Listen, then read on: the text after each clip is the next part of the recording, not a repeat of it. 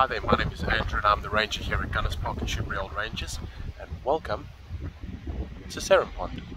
So this is Serum Pond and this little area is just to the southeast of the main car park at Gunners Park and this little pond has always been a fantastic location for dragonflies to emerge and occupy the area.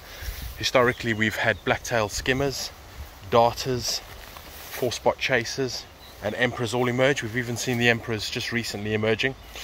But recently, in the last four years or so, we have had southern migrant hawker dragonflies emerge from this pond.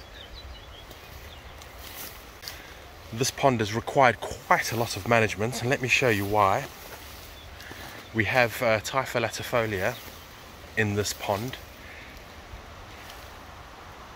and last year after about four years this whole pond was completely choked out with this typha and so this winter we had a large digger come in a contractor came in with a large 360 digger and basically removed all of the spoil and all of the typha from that area there to create these lovely open areas for dragonflies to emerge and oviposit so I've just nipped over to the far side of the pond.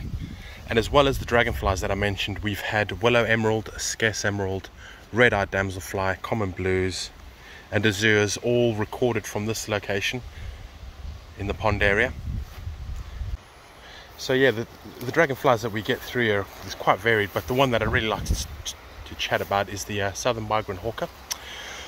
So this is a recent arrival from the continent. Um, been here maybe about 10 years in this area, maybe a bit less. We started getting reports of them crossing Kent at Cliffe Pools and the Thames estuary itself is becoming a really great place for invertebrates. And the southern migrant hawker is one shows that uh, these species can colonize all the way along the, the estuary. It uh, then started to move across, got reported in places like Bowers, and then Wat Tyler, and then Hockley Woods of all places, where there is a very good population at the moment. And then a couple of years ago, four years ago, we uh, we picked up southern migrant hawker here, just hovering over the pond and ever since then every year we've had southern migrant hawker emerge from this area and then move across the park to hunt and, and hover and perch up. So this pond is becoming a really important little area for for dragonflies and uh, we'll continue to manage it for that.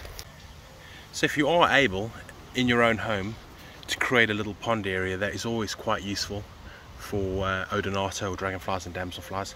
This gives them an area to emerge and potentially oviposit